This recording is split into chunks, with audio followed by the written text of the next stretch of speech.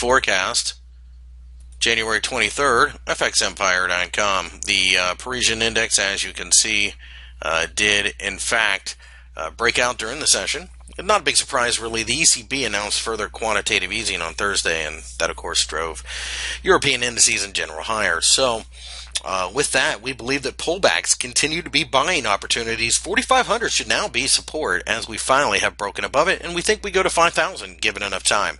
No interest whatsoever in selling. We do realize that we are a little extended here, so pullbacks may come, but again, that represents value.